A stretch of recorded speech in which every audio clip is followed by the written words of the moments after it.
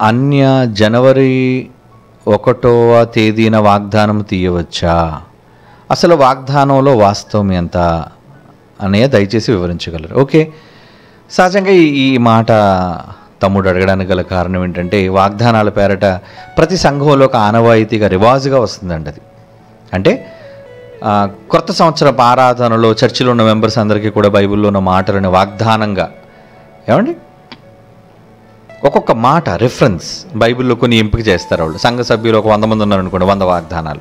రెండు వందల మంది ఉన్నారు రెండు వందల వాగ్దానాలు. ముందుగా వీళ్ళు తయారు చేస్తారు. అది కూడా బైబిల్లో అనుకూలమైన మాటలు మంచి మాటలు. వాళ్ళకి ఆశీర్వాదకరమైన మాటలు. ఏమండి? వాళ్ళకి శ్రేయస్కరమైన మాటలు. బైబిల్లో చాలా మాటలు ఉన్నాయి ఇంతకీ ఆ మాటలు ఇవ్వటం తప్పు కాదు. కానీ ఆ వాగ్దానమే మీ సంవత్సరం అంతా మీకు వచ్చింది అని అనుకోవడం పొరపాటు. ఇప్పుడు బైబిల్ అరవై ఆరు పుస్తకాలలోని మాటలన్నీ కూడా దేవుని మాటలే. అంటే మనుషులకు మంచిని నేర్పించే మాటలుగానే మనకు కనబడుతున్నాయి. మరి ప్రతి సంవత్సరం కేవలం బైబిల్లో ఎక్కడో ఒక అధ్యాయంలోని ఒక వచనం మాత్రమేనా? మూడు వందల అరవై ఐదు రోజులకు మీకు సంబంధించిన వాగ్దానం? ఏమండి? ఆయన వాగ్దానము అని దాన్ని పిలవటంలో అర్థం ఏముంది చెప్పండి? వాగ్దానం అనేసి అంటే పరిశుద్ధాత్మ దేవుని వాగ్దానం అన్నాడు. అసలు వాగ్దానము అంటే ఏంటి? ప్రామిస్. ఏంటి ఆ ప్రామిస్? ఆయన ఇవ్వాలనుకున్నది నేను చెయ్యబోతున్నాను అని ముందుగా చెప్పేదాన్నే మన వాగ్దానము అంటాం. అంతే కదా? అలా దేవుడు ఇవ్వబోయేదాన్ని ముందుగా వాగ్దానం అని చెప్పాడు. ఏంటి ఆ వాగ్దానం? ఒకసారి బైబిల్లో చూద్దాం. వాగ్దానం అన్నది. దేనిని వాగ్దానం అంటారంటే వీళ్ళు ఏది పడితే అది వాగ్దానంగా వీళ్ళు పరిగణిస్తున్నారు. ఏది పడితే అది వాగ్దానంగా వీళ్ళు భావిస్తున్నారు. నిజానికి బైబిల్ ఏం చెప్పిందో ఒకసారి అపోస్తుల కార్యములు. ఏనా ఒకసారి బైబిల్ తెరిచి చూద్దాం. అపోస్తుల కార్యములు రెండో అధ్యాయం. పెంతుకోస్తేనే పండుగ దినాన పేతురు గారు ప్రసంగించిన తర్వాత మరి ఆయన ప్రసంగానికి ఆకర్షింపబడి ఎందరో క్రీస్తులోనికి రావడానికి యూదులలో నుంచి వాళ్ళు సిద్ధపడ్డారు. అప్పుడు వాళ్ళకి సంబంధించి మేము ఏం చేయాలి అని వాళ్ళు అడిగినప్పుడు పేతురు గారు ఒక మాట అంటున్నారు. ఏమంటున్నారు చూడండి. అపోస్తుల కార్యములు రెండో అధ్యాయం ముప్పై ఎనిమిదో వచ్చినం పేతురు అంటున్నారు. మీరు మారు మనస్సు పొంది పాపక్షమాపణని మీరు ఇప్పటివరకు చేస్తున్న పాపాలన్నిటి కోసం ప్రతి వాడు యేసుక్రీస్తు నామమున బాప్తిస్మము పొందుడి. అప్పుడు మీరు పరిశుద్ధాత్మను వరం దేవుడు ఆల్రెడీ వరంగా మనకి ఇచ్చాడు ఆ వరాన్ని మీరు పొందుతారు. ఈ వాగ్దానము మీ- ఈ వాగ్దానము అంటున్నాడు చూడండి. వాగ్దానం అంటే ప్రామిస్. దేవుడు మీకు వాగ్దానం చేశాడు. ఏమని? ఏమని వాగ్దానం చేశాడు? నేను వెళ్ళిపోతున్నాను. నేను యేసుప్రభు వారు భూమిని విడిచి వెళ్ళిపోయే ముందు శిష్యులతో ఒక మాట చెప్పాడు ఆయన. ఏమంటున్నారంటే నేను వెళ్ళిపోతున్నాను మిమ్మల్ని ఒంటరిగా చేసి వెళ్ళిపోతున్నాను మీరు అనుకోకండి. నేను వెళ్ళిన తర్వాత మీ వద్ద ఎల్లప్పుడూ ఉండడానికి నేను ఒక ఆయన నేను పంపాలనుకుంటున్నాను వేరొకరిని తండ్రి వద్ద నుంచి మీ దగ్గరకు రాబోతున్నాడు ఆయన. నేను వెళ్ళి ఆయన మీ వద్దకు పంపుతాను అనే మాట ముందుగా చెప్పాడు. అప్పటికి ఇంకా పరిశుద్ధాత్మ దేవుడు రాలేదు సుమా? ఏమండి? యేసుక్రీస్తు వారు ఆ మాట చెబుతున్నప్పటికీ బాప్తిసం పొందిన వాళ్ళందరిలో కూడా పరిశుద్ధాత్మ దేవుడు రాలేదు. అంటే వాగ్దాన రూపంలో వస్తాడు. అందుకనే కొంచెం అపోస్తుల గారిలో మొదటి అధ్యాయం కూడా వెళితే వాళ్ళకు ఒక వాగ్దానం చేశాడు. అపోస్తులకు చేసిన వాగ్దానం చూడండి. అపోస్తుల కార్యములు మొదటి అధ్యాయము నాలుగో వచ్చినం యేసు ప్రభు వారు వాళ్ళతో చెప్పి అపోస్తులతో చెబుతున్న మాట ఇది ఆయన వారిని కలుసుకుని ఇలాగ ఆజ్ఞాపించును. నాయనా మీరు దయచేసి ఎరుశలేం నుంచి వెళ్ళకండి. నా వలన వినిన? తండ్రి యొక్క వాగ్దానము కొరకు. మీరు కనిపెట్టండి. ఇంతకీ ఏంటి ఆ వాగ్దానం? యోహాను నీళ్ళలో మీకు బాప్తిస్మ ఇచ్చాను కానీ కొద్ది దినములలోగా మీరు పరిశుద్ధాత్మలో బాప్తిస్మము పొందుదురనెను. అంటే మీకు ఇక్కడ ఏం అర్థమైంది? ఏనానా? పరిశుద్ధాత్మ దేవుడు వాగ్దానంగా మీ దగ్గరకు రాబోతున్నాడు. అంటే దేవుడు ముందుగా చెప్పాడు పరిశుద్ధాత్మ దేవుడు మీకు వస్తాడు అని. ఇక యేసుక్రీస్తు వారు వెళ్ళిపోతూ వెళ్ళిపోతూ ఆయన ఏం చెప్పారు? యోహాను సువార్తలో మనం చూడగలిగితే ఏనా ఆయన ఏమంటున్నారు చూడండి. యోహాను సువార్త పదిహేనవ అధ్యాయము ఇరవై ఆరు. యోహాను సువార్త పదిహేనో అధ్యాయము ఇరవై ఆరు.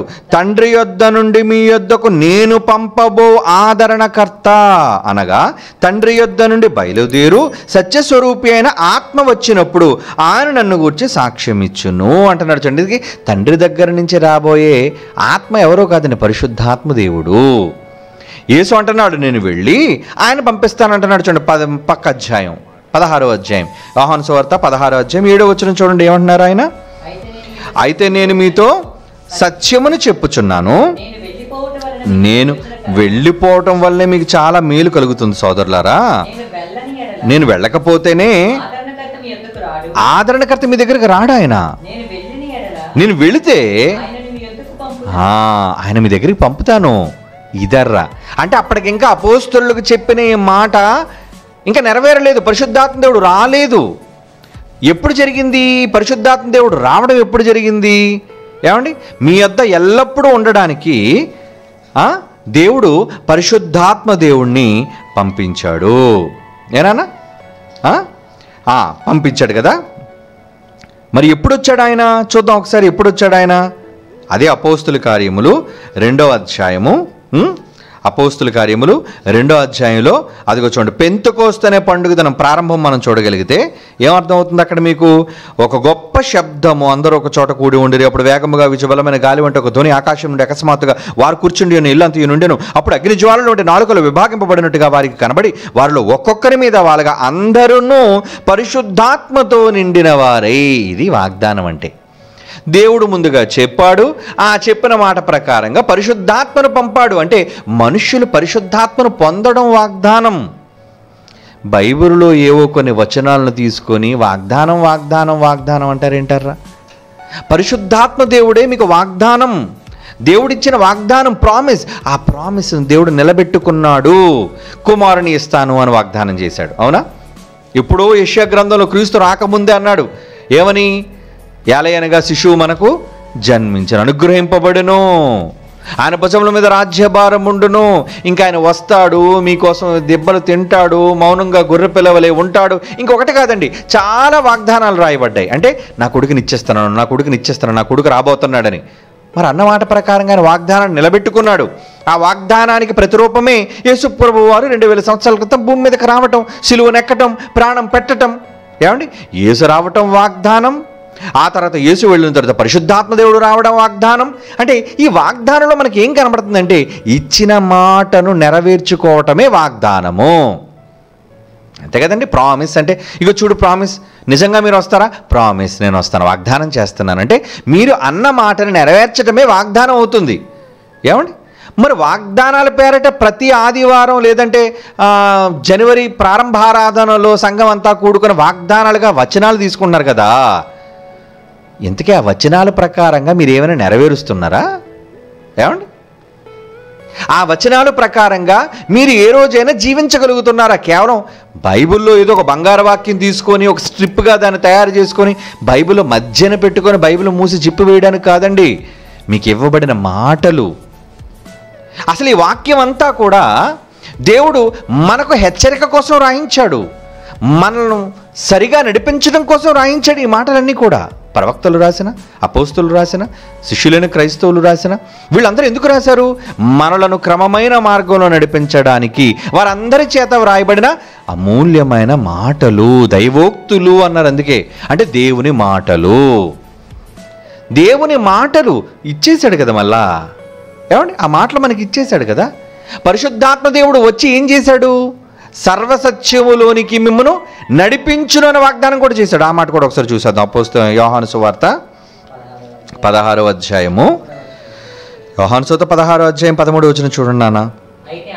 అయితే ఆయన అనగా సత్యస్వరూపైన ఆత్మ వచ్చినప్పుడు మిమ్మును సర్వసత్యములోనికి నడిపించును. భవిష్యత్తు చెబుతున్నాడు. వాగ్దానం ప్రామిస్ నాన్న ఆయన వచ్చి మీకు అన్ని విషయాలు చెబుతాడు. ఏది దాచుకోడు ఆయన? ఇదండి ప్రామిస్ అంటే? ఆయన తనంతట తానే ఏమీ బోధింపక మరి ఈ వేటిని వినును వాటిని బోధించి సంభవింపబో సంగతులను మీకు తెలియజేయును. జరగబో వాటన్నిటిని గురించి చెబుతాడు. చెప్పేశాడా? అవునండి ప్రకటన గ్రంథం వరకు ఉన్న మాటలన్నీ ఏంటనుకున్నారు? నమ్మితే మీకు వచ్చే లాభం నమ్మకపోతే మీకు వచ్చే కష్టం. అవునా? నమ్మి వాప్తిస పొందినవాడు రక్షింపబడు నమ్మనవానికి శిక్ష విధింపబడును. మరి ఇవన్నీ వచ్చేసాయి చెప్పేశాడు ఏం జరగబోతుందో చెప్పేశాడు. ఎక్కడికి వెళ్ళిపోతారో చెప్పేశాడు. ఎందుకంటే మరి మూడు లోకాలకు సంబంధించిన అనేక సంగతులను బైబిల్లో నూతన నిబంధనలో రాయబడలేదా? పరదేశ్ కోసం ఎప్పుడు తెలుసుకున్నారు మీరు? అది మూడు ఆకాశంలో ఉందని ఎప్పుడు తెలుసుకున్నారు మీరు? ఏమండి? సంఘం ద్వారా నానా విధమైన జ్ఞానం పరలోకంలో దూతలు కూడా వింటాయి నేర్చుకుంటాను ఈ సంగతులను ఎప్పుడు మీరు తెలుసుకున్నారు? ఏమండి? సకల శాస్త్రాలను అధిగమించే బైబిల్లోని అమూల్యమైన మాటలు ఇవన్నీ నూతన నిబంధనలో ఉన్నాయండి ఇవన్నీ లేదా బైబిల్లో దేవుడు రాసిన అరవై ఆరు పుస్తకాలలో దేవుడు రాయించాడండి ఇవన్నీ ఆయన మాటిచ్చాడో మాటిచ్చిన ప్రకారంగా నెరవేర్చాడు. నువ్వు మాట తీసుకుంటున్నావు అసలు మాట ప్రకారంగా నెరవేరుస్తున్నావా? వాగ్దాన రూపంలో తీసుకోవడం కాదండి. వాగ్దానాలు ఇచ్చేయండి వాగ్దానాలు ఇచ్చేయండి. ఈ సంవత్సరం దేవుడు నాకు ఏం వాగ్దానం ఇచ్చాడు? ఏమండి? అబ్బా మంచి వాగ్దానం ఇచ్చాడండి. ఏంటి ఆ వాగ్దానం? కీర్తన గ్రంథం మొదటి అధ్యాయం మొదటి ఏ కదండి వాగ్దానాల రూపంలో ఉంటాయి? అవునా? ఏదో ఒకసారి చదువు కదా వాగ్దానం మీకు అర్థం కావాలి కదా వాగ్దానం అంటే ఏదో.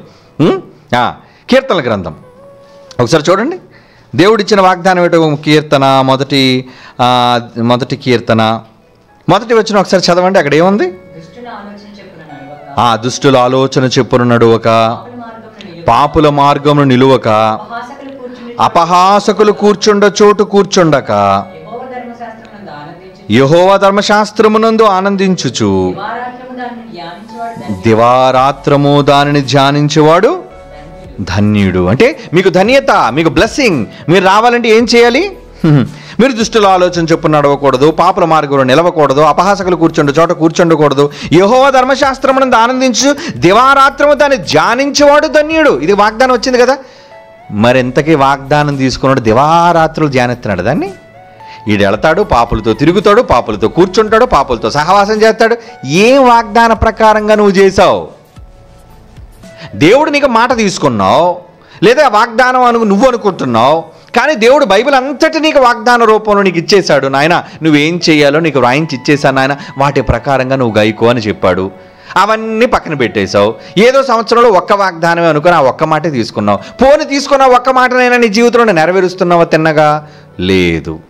అంటే ఎందుకు దానిని వాగ్దానం అని నువ్వు అంటున్నావు? ఎందుకు ఆ మాట ఇచ్చి ఆ మాటని మీరుతున్నావు? అది చాలా ప్రమాదం సుమా. వాగ్దానం తీసుకుంటున్నావు అంటే దేవునికి మాట ఇస్తున్నావు అని అర్థం. దేవుడికి మాట ఇచ్చి తప్పిపోవడం చాలా ప్రమాదం సుమా. దేవుడికి మాట ఇచ్చి తప్పకూడదు. చాలా కఠినంగా ఉంటాడు ఆయన. ఒకసారి నువ్వు దేవుడికి మాట ఇచ్చి నువ్వు దేవుడితో ఒట్టు పెట్టుకోకుండా ఉన్నా పర్లేదు. కానీ ఒకసారి మాట ఇచ్చావా ఆ ఒట్టుని ఎలాగైనా రాబట్టేసుకుంటాడు ఆయన. ఏమండి చెప్తా ఇచ్చేశాడు. మాట ఇచ్చేశాడు ఏమని? నా ఇంట్లోంచి ముందు ఏది వస్తుందో అది నీకు బలైపోద్ది అన్నాడు. కూతురు వచ్చేసింది. ఏం చేశాడు? నువ్వు మాట ఇచ్చావు నీ మాట నాకు నెరవేర్చుకోక తప్పదు. ప్రతిష్ఠించేశాడండి కుమార్తెని. వివాహం జరగకుండా ప్రతిష్ఠించేశాడండి. అమ్మా సారీరా తల్లి. నేను ఇచ్చిన మాట వల్ల నీకు ఈ యవన కాలంలో ఒక చక్క వరుణ్ణి చూసి నీకు పెళ్ళి చేయలేను. ఇక నువ్వు దేవుని కోసమే నువ్వు పురుషుని ఎరుగని దానిగా ప్రతిష్ఠింపబడిపోలమ్మా అందుకే ఆవిడ అంగలార్చింది. యవనత కన్యత్వం కోసం అంగలార్చింది. బాధపడింది. అంటే ఒకసారి దేవుడికి నువ్వు మాట ఇచ్చావో ఆ మాట నువ్వు నెరవేర్చుకోవాలి. అదే వాగ్దానం. బైబిల్ నువ్వు తీసుకుంటున్నావు అంటే ఆ తీసుకున్న నీవు దేవునికి వాగ్దానం చేసావు మరి బాప్తీసం తీసుకున్నప్పుడు నువ్వు చేసింది ఏంటి? ఇట్స్ అ ప్రామిస్ పెళ్ళైనప్పుడు వాగ్దానం చేస్తారు కదా? ఏమని? కలిమి ఎందును లేమి ఎందును వ్యాధి ఎందును బాధ ఎందును. ఓకే. మరి ప్రమాణాలు నువ్వు తప్పిపోతే? తప్పిపోతారు చాలామంది. ఏమండి మనుష్యులతోనే మాటిచ్చి తప్పిపోతేనే నీకు ఇబ్బందులు ఎదుర్కొంటున్నప్పుడు దేవుడికి మాటిచ్చి తప్పిపోతే ఒప్పుకోడండి ఆయన. దేవునితో అసలు కమిట్మెంటే వద్దు. కమిట్ అయ్యావో ఆ మాట నువ్వు ఖచ్చితంగా నీ బ్రతుకులో నెరవేర్చి తీరాలి. దేవుడితో మాటిస్తే అంతా అందుకే ఒట్టు పెట్టుకోవద్దు అనేసాడు ఒట్టు పెట్టుకోవద్దు నువ్వు. మాట ఇవ్వద్దు దేవుడికి. మరి ఇప్పుడు వాగ్దానం పేరట దేవుడు ఏదో మాకు మాట ఇచ్చేశాడు అని నువ్వు మాట తీసుకొని ఆ మాట ప్రకారంగా జీవిస్తానని నువ్వు చెప్పి ఎంతమంది ఈరోజు బాప్తీసం పొందిన వాళ్ళు మాట ప్రకారంగా జీవిస్తున్నారు? పోనీ ఆ కొత్త సంవత్సరం రోజైనా తీసుకున్న వాగ్దాన ప్రకారంగా తమ బ్రతుకుని గడుపుతున్నారు చెప్పండి. లేదే. ఎంత పొరపాటు చేస్తున్నారండి? దేవునికి విరోధంగా బ్రతుకుతున్నారు. కాబట్టి ఇప్పటి వరకు ఒక పాత బాణి ఒక పాత అలవాటులో ఏమండి వాక్యాన్ని స్వీకరించడం తప్పని నేను అనటం లేదు. తీసుకోండి. ఒక్క మాటేనని మీరు తీసుకుంటారు. అరవై ఆరు పుస్తకాలతో మొత్తం మహాజ్ఞాన సంగతులు మీకు నేర్పించాడు. దివారాత్రములు ధర్మశాస్త్రం అంతటినీ చదవమని నీకు చెప్తే ఏదో ఒక్క మాట పట్టుకుని సంవత్సరం అంతా దేవుడు నాకు ఇదే వాగ్దానం చేశాడు. ఆ ఒక్క మాట మీద నిలబడిపోతే ఎలా? చెప్పండి. జనవరి మొదటి రోజు ఏదో అనుకోకుండా మీకు సమస్య కలిగితే మూడు వందల అరవై ఐదు రోజులు మీరు సమస్యతోనే ఉంటారా? కాదు కదా. మిగిలిన పనులన్నీ మీరు ఉంటారే చేసుకుంటారే? ఆనందిస్తారే? అవునా? ఏదో జనవరి మొదటి రోజు పప్పుచారు అనేది తిన్నారు అనుకోండి నాన్ వెజిటేరియన్ తినకుండా మిగతా మూడు వందల అరవై ఐదు రోజులు ఏమండి? పప్పుచారు అనేది తింటారేంటి మీరు? కాదు కదా. అన్నీ అన్ని వెరైటీస్ అన్ని ఐటమ్స్ మీరు తింటారు. మరి బైబిల్ దగ్గరికి వచ్చేసరికి లేదు అక్కడ జనవరి మొదటి రోజు ఏదైతే ఆరాధనలు తీసుకున్నానో ఇంకా నా జీవితం అంతా కూడా అదే పప్పుచారన్నం తింటాను అన్నట్టుగా ఉంది వ్యంగ్యంగా. బాలేదు కదా? ఏమర్రా దేవుని దగ్గర మీరు అన్ని మాటలను ఆస్వాదించండి అన్ని మాటలు స్వీకరించండి అన్ని మాటలు మీకు వాగ్దానాలే అన్ని మాటలు మీకు హెచ్చరిక మాటలు దేవోక్తులవి. ఏదో ఒక్క మాట మీద నిలబడకండి పోనీ ఆ ఒక్క మాటను తీసుకుని ఆ ఒక్క మాట ప్రకారంగా మీరు చేయగలుగుతున్నారా? అది మీరు ప్రశ్నించుకోవాలి. వాగ్దానం తీసుకున్నావంటే నువ్వు దేవుడికి వాగ్దానం చేశావు అని లెక్క. ఎంతమంది ఎన్నిసార్లు ప్రతి సంవత్సరం ప్రతి జనవరి నాడు వాగ్దానం వాగ్దానం వాగ్దానం. పోయిన సంవత్సరం తీసుకున్న వాగ్దానం నువ్వేం చేశావు? అసలు దాని ప్రకారంగా ఈ రోజున బ్రతికావా? ఏంటది? చక్కగా లామినేట్ చేసి బైబిల్లో పెట్టుకోవడం అనుకున్నావా వాగ్దానం అంటే? కాదయ్యా. ఆ మాట నీ బ్రతుకులో నెరవేర్ నెరవేర్చడం. అది ఆ మాటకు నెరవేర్పు. దేవుడు నీకు ఇచ్చింది బైబిల్ని నెరవేర్చమని. అవునా కాదా? బైబిల్ ఎందుకు ఇచ్చాడు? ఓన్లీ చదవడానిక? కాదండి. దివారాత్రములు ధ్యానించి దాని ప్రకారంగా ఆచరించడం కావాలి. యశుప్రభు ఆచరించమన్నాడు. వాక్య ప్రకారంగా గైకొనమన్నాడు. నేను ఏ సంగతులు ఆజ్ఞాపించినో వాటిని గైకొనవలనని వారికి ఆజ్ఞాపించు అన్నాడు. మరి ఆ మాటలన్నీ నువ్వు గైకోవా? మీరు దాని ప్రకారంగా చేయరా బైబిల్ పెట్టుకుంటారా? అందంగా ఉన్నాయని. ఉద్దర్రా క్రైస్తవ్యం పొరపాటు చేస్తుంది. సవరించుకోండి దాన్ని. సవరించుకోండి. బైబిల్ అంతటిని మూడు వందల అరవై ఐదు రోజులు కూడా మీ గుండెలకు హత్తుకోండి. అది మీ మనస్సుల్లో ఉండాలి మీ క్రియల్లో ఉండాలి మీ పనులు దానికోసమే ఉండాలి. అప్పుడు ఒక తీసుకున్నా వంద తీసుకున్నా బైబిల్ అంతటిని తీసుకున్నా దానికి మీరు న్యాయం చేసేవాళ్ళు అవుతారు. కనుక లోక మర్యాద చొప్పున అందరూ ఎప్పటివరకు చేస్తున్నారు? ఎవరో ఒక ఒక పనికిరాని విషయాన్ని ఒక పనికిరాని ఏమంటారు అలవాటును చేశారు దాన్ని. ఏమండి? పోనీ దాన్ని చేయటం ఒక మంచి ఉద్దేశంతోనే చేయొచ్చు. వాళ్ళు ఎవరో మనకు ముందున్న వాళ్ళు ఎందుకంటే వాళ్ళు జ్ఞానం లేక ఏదో ఒక్క మాటనే ఇచ్చారు. అది మొదటి తప్పు. పోనీ తీసుకున్న వాళ్ళు దాని ప్రకారంగా జీవిస్తున్నారా? జీవించకపోవడం రెండో తప్పు. బైబిల్ అంతటినీ మనం కలిగి ఉండాలి దాని ప్రకారంగా జీవించాలని చెప్పకపోవటం మూడో తప్పు. చూసారా? ఎన్ని తప్పులు జరుగుతున్నాయో? కనుక అలాంటి తప్పులు జరగకుండా ఉండాలంటే మిమ్మల్ని మీరు సరిచేసుకోండి వాక్యాన్ని బట్టి. అది వాగ్దానం యొక్క విశిష్టత. ఓకేనా వెరీ గుడ్ దేవుని గురించి చెప్పిన దేవుడే. నాకు ఆనాడు చెప్పాడు వేసే గదా. తన కొరకు ప్రతిరోజు చెప్పాలి నీవే గదా. తన కొరకు నువ్వు చెబితే దైవానివే. తన గూర్చి నువ్వు చెబితే దైవానివే. నీ కొరకు చూశాడు కొరకు చూశాడు ఆ దేవుడే. నీకోసమే ఎదురు చూశాడు